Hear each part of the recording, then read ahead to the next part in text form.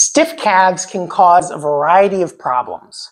Foot pain, knee pain, hip pain, and even lower back pain can be a result of tight calves.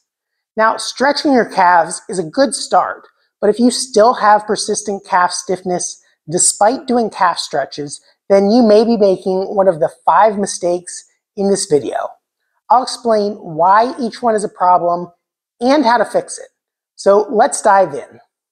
The first mistake has to do with shoe wear. Now, what most people think about when they think about shoe wear is improper arch support. And it is important to have good arch support because if you can pronate too much in your shoes, then your body can get around your calf and not have to step straight over top of your foot. And that can result in stiff calves. But there's an even bigger problem with shoe wear that most people don't think about. And that's just that we wear shoes all the time. Now, this is particularly a big problem for women who wear higher heel shoes, but even a one inch heel causes you to walk around slightly on your toes. Furthermore, even most athletic shoes have a slight drop from your heel to your toe. And if you're always walking slightly up on your toes like that, then you never get to the full range of ankle dorsiflexion, which can cause calf stiffness. And so the first tip to help relieve calf stiffness is just to switch to lower heel shoes. If you're someone who wears a high heel shoe, switching to a shorter heel or to a flat can help relieve calf stiffness. And even if you're an athlete who wears athletic shoes, switching to a zero drop shoe may be a better option to allow you to get more ankle dorsiflexion as you're going through your daily activities or through your sporting activities. Now, that's not to say that you can never wear high heel shoes. You just need to take extra concern to do things to counteract the risk that you've caused by walking around on your toes all day long. And that brings us into the second mistake, which is neglecting your soleus. If you don't know, you actually have two calf muscles. One superficial calf muscle that crosses the knee called your gastrocnemius.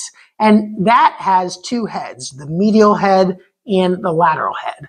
But you also have a deeper muscle that lies underneath your gastrocnemius called the soleus.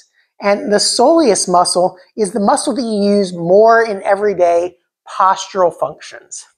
The gastrocnemius has a higher proportion of fast twitch muscle fibers, which means it's used for things like pushing off when walking or especially when running or jumping. But the soleus is used more for sustained postural activities, such as standing without falling forwards. And so if you're standing like this all day long, your soleus is persistently active. But when most people stretch their calves, because the gastrocs are more visible, most people think about stretching their calves with the knee straight. But that limits your ankle flexibility before you get to the end range of the soleus.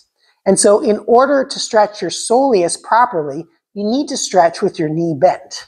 And to do that, you can stretch in a stagger stance like this, and you're going to be stretching the front leg. Now you bring your knee out in front of your toe like that, and go to the maximum range that you can without allowing your heel to lift up off the floor.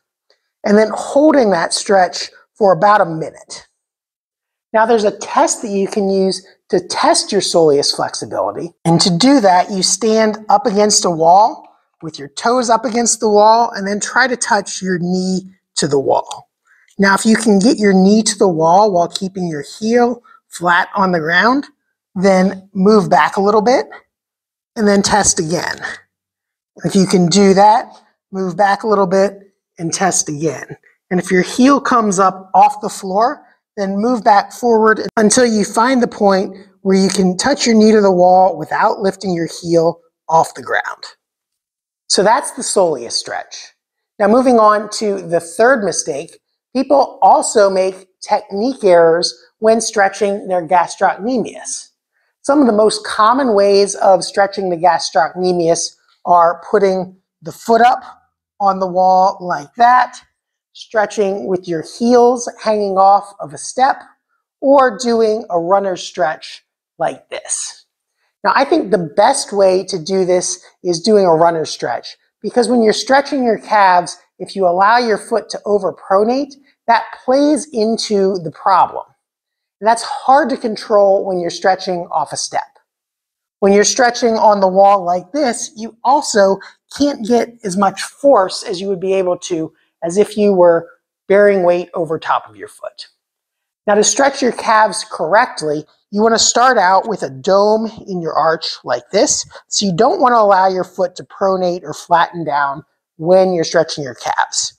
So go into the maximum amount of pronation, maximum amount of supination, and then find a nice middle ground where your knee is over top of your toe and your arch is lifted.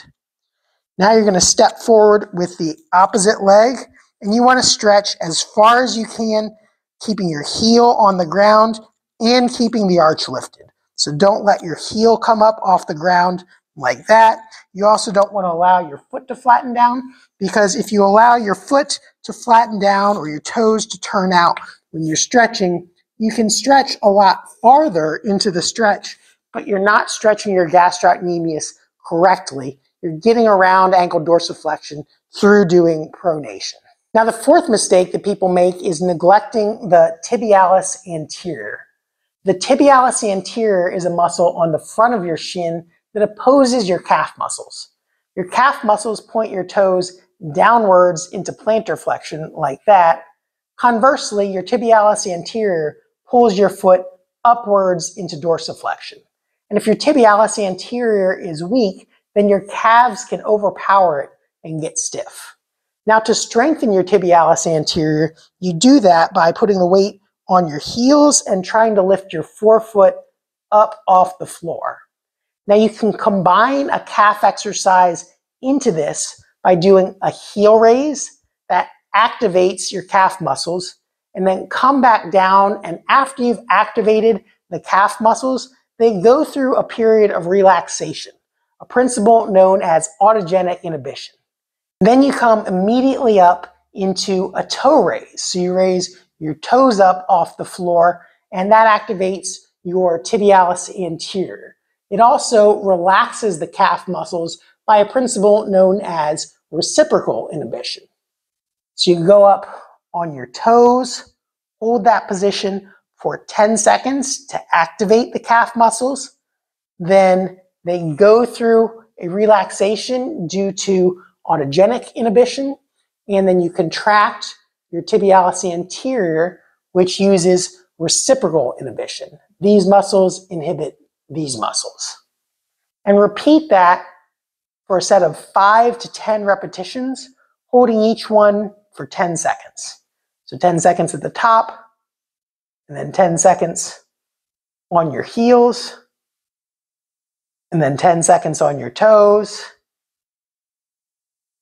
and then 10 seconds on your heels. Now make sure you're standing by something for safety. Either something like a counter that you can hold on to or standing close to a wall because you don't want to end up falling backwards and fall backwards on your bottom. Now the final mistake that people make is neglecting myofascial work on their calves. And the fascia is like an envelope that surrounds your muscles. And if the fascia is too stiff, then your muscles can't stretch fully.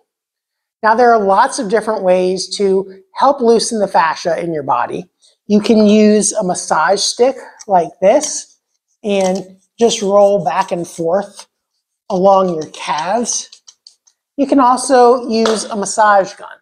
But one of my favorite ways to address trigger points in the calves is to do it manually using your hands. Because that way you can actually feel the stiff areas with your hands as well as get the feedback from your calves.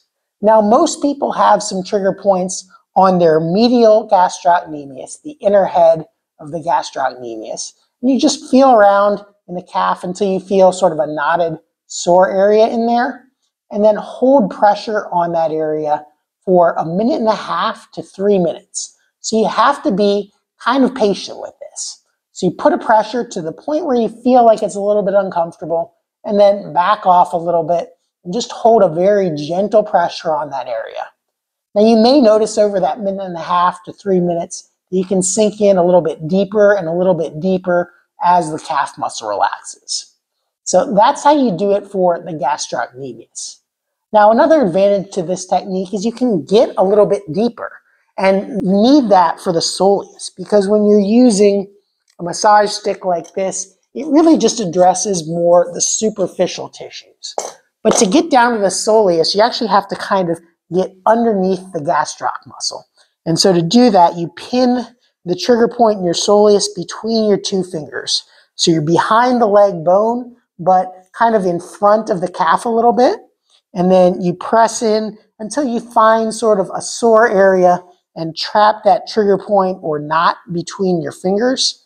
And then again, you hold pressure on that area for about a minute and a half to three minutes until it relaxes. Now, another way that you can address trigger points in your calves, particularly deeper trigger points in your soleus, is seeing a physical therapist that does trigger point dry needling. With dry needling, you put the needle actually inside the muscle, and so you can get even more specific and deactivate the trigger point neurologically. So those were the five mistakes that people make that lead to calf stiffness. Try out each of the solutions and let me know in the comments which one works best for you. Now, if you need more tips for knots in your legs, check out this other video over here. But before you go, if you found this video helpful, make sure to give it a like, and if you haven't already, subscribe to our channel so you can get notified of our future videos. Thanks for watching, and I'll see you in the next video.